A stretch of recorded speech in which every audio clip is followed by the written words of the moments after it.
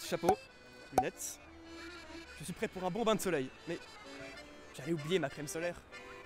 Attends, as-tu vérifié sa composition? Chaque année, 25 000 tonnes de crème solaire sont déversées dans les océans. Et cela génère une forte pollution marine, conduisant au dérèglement de la vie aquatique. Et pourquoi? Nous allons tout expliquer. Nous sommes des élèves du lycée Fénelon près de la mer, c'est pourquoi nous sommes sensibilisés à sa protection. Ainsi, nous nous sommes penchés sur la crème solaire utilisée massivement sur nos côtes en été. Nous nous sommes demandé si, selon sa composition, le développement de la biodiversité marine pouvait être impacté. Tu veux en savoir plus?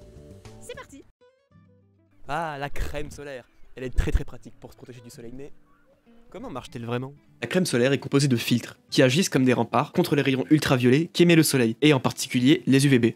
Tout d'abord, nous avons voulu déterminer si certains pouvaient pénétrer dans les tissus vivants. Je n'en dis pas plus. Alice, nous t'écoutons. Salut Evan, sais-tu que la crème solaire peut contenir 33 filtres différents? Mais 20% de cette crème se retrouve dans les océans après 20 minutes de baignade. Nous avons réalisé une chromatographie sur couche mince pour déterminer la lipophilie de quelques filtres chimiques. Suite à une visioconférence organisée avec M. Stian, chercheur au laboratoire océanographique à Bénioul, sur mer, ayant étudié l'impact de la crème solaire sur les coraux, il nous en a fourni 4. L'octocrylène, l'éthylhexyl salicylate, le butyl méthoxydébenzol méthane et l'homosalate. Sur une plaque de silice, nous avons déposé une goutte d'un filtre solaire, puis une goutte de la première crème solaire et ensuite de la seconde. Nous avons mis longtemps à déterminer la composition idéale de l'éluant. Suite à des essais infructueux, nous avons réussi à conclure que le filtre le plus lipophile est l'éthylhexyl salicylate, avec un mélange 90-10, puis l'octocrylène avec un mélange 80-20 et le butylméthoxydibenzol méthane avec 60-40. Le composé le plus prédisposé à se disperser dans l'eau de mer est donc l'homosalate. Les résultats ont été confirmés par la chromatographie HPLC menée par M. Stian. Et donc, grâce à cette expérience, nous savons que les filtres se diffusent directement dans l'eau lors de notre baignade, tandis que d'autres restent plus longtemps sur la peau du nageur, ou alors s'infiltrent dans un être vivant marin. Mais la crème solaire impacte-t-elle d'autres organismes tels que les bactéries? C'est ce que nous allons voulu savoir. Tess, à toi la parole. Salut Evan, j'espère que tu es prêt pour étudier l'impact de la crème solaire sur la spiruline, une bactérie photosynthétique. Nous avons rencontré de nombreuses difficultés. En effet, la spiruline ne se développe pas pendant cette période. Elle se multiplie à une température supérieure à 20 degrés et un pH égal à 9. Pour s'en procurer, nous avons contacté un producteur à Grasse. Euh, malheureusement, une semaine après, euh, elle est devenue blanche et morte. Puis nous avons essayé un second producteur. Cette fois-ci, la spiruline est morte en deux jours après avoir jauni. En le recontactant, il nous expliquait qu'elle avait en effet subi un choc d'oxygénation et euh, de pH, mais également de température. Après un nouvel essai infructueux, il nous a proposé son aide pour l'élever. Nous sommes donc rendus pendant 5 jours à sa ferme. Nous avons suivi l'évolution euh, grâce à un comptage réalisé avec des cellules de malassèse. La proportion de spiruline dans la première crème, euh, ainsi dire la mauvaise, avait drastiquement diminué et l'odeur était nauséabonde. D'après Damien, le producteur, elle était en mauvaise santé et non comestible. Au microscope, des taches correspondant aux filtres chimiques étaient omniprésents.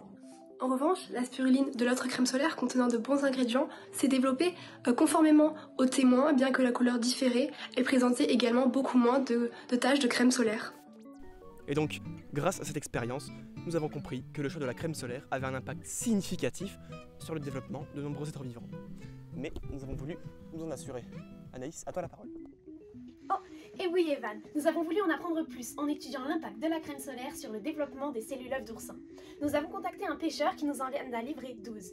Dès le lendemain, nous avons procédé à la fécondation des gamètes vues au microscope optique. Nous avons ensuite placé la préparation contenant les cellules œufs dans trois béchers, l'un étant le témoin positif, le second contenant la crème solaire minérale et le troisième la crème solaire chimique. Les deux premières divisions ont eu lieu dans les heures suivantes, mais nos expériences ne se sont pas déroulées comme prévu. Deux jours après, nous avons observé ceci. En contactant le laboratoire océanographique de Villefranche-sur-Mer, nous avons compris que ces cellules œufs ont implosé suite à un milieu contaminé ou à un manque d'agitation. Or, faute de temps et la science en requérant, nous n'avons pas pu poursuivre nos recherches et nous comptons la refaire. Ce concours nous a permis d'accentuer notre esprit scientifique. Nous avons compris la difficulté des recherches qui demandent une prise en compte de nombreux paramètres, comme la température, l'agitation, la luminosité ou les apports nutritifs. Ces travaux ont aussi demandé de l'hygiène dont nous avons à présent compris l'importance. Il est aussi important de noter que cela nous a permis de collaborer, d'utiliser les points forts de chacun et de développer un esprit critique sur nos recherches. Ainsi, Ces expériences nous ont montré que selon la crème solaire que nous choisissons, l'impact sur la biodiversité aquatique peut être considérable. Lorsque la spiruline et les cellules d'oursin ont été exposées à la mauvaise crème solaire, les résultats ont été clairs, un développement limité et des études parallèles ont prouvé des malformations de larves d'oursin. Ceci suggère une interférence notable avec la croissance de ces êtres vivants. Or, en contact avec la bonne crème solaire, leur développement a été moins impacté. Notre étude met donc en évidence la nécessité d'agir maintenant à notre échelle pour protéger la biodiversité aquatique. Nous avons donc décidé de sensibiliser les élèves de notre lycée en vendant des flyers pour qu'ils puissent repenser leur choix en matière de protection solaire. Ceci pour garantir la pérennité de notre environnement qui en dépend.